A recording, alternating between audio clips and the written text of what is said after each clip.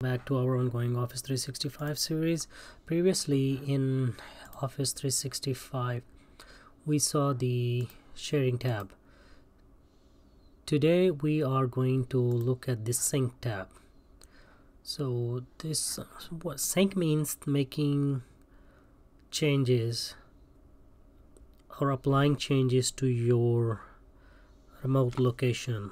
It could so with the uh, local location being the folder that you are working on. So you could uh, I think in Windows XP there was a folder. So basically you could uh, sync multiple folders to that uh, briefcase. There was like an option to briefcase I think. Something like that. So basically what happens is if I'm working on this folder and I'm syncing this folder as well well and for example in this case it's on um, one OneDrive so if I there's a file that's uh, a word file.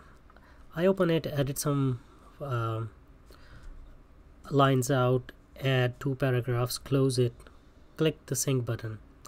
And it's gonna do the same to that remote file in OneDrive. It will erase those lines from that file. It will add those two uh, paragraphs that I added here and close that.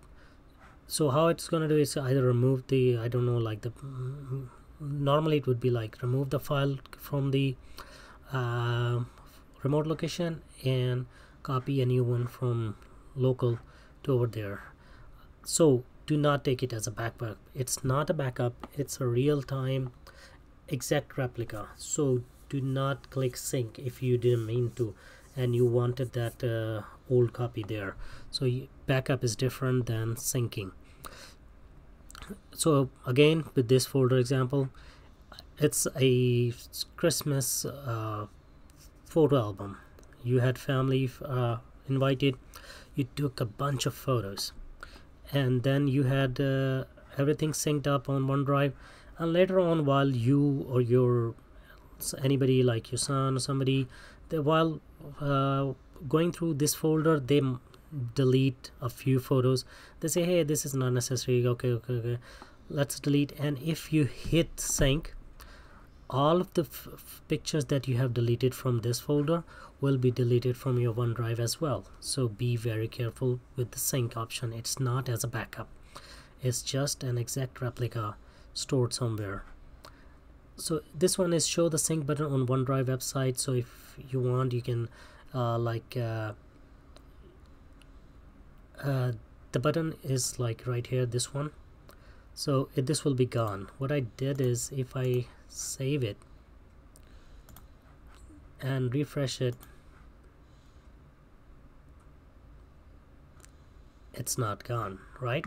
So I thought that it's because like uh, that that's an admin account that's why. So it's still there and when I was in admin account I noticed this return to classic OneDrive.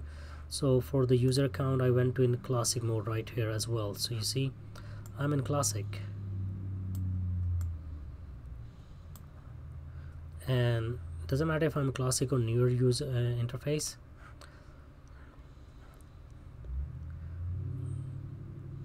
The sync button is here. And you you see that that is a tiny monitor then get arrow going up and back. So you make any changes on your local folder right there it will be replicated over here as well. But if I am to delete this file from here and so you see this other arrow means that if I press the sync button here or if I have the client like I see there was a client download option if you go and download the client and you run that from the from your computer for Windows or you have on your phones. And this other arrow means that whatever you delete from the OneDrive will be deleted from your uh, local copy as well. So it's a two-way street. Be very careful with syncing. It is not a back backup.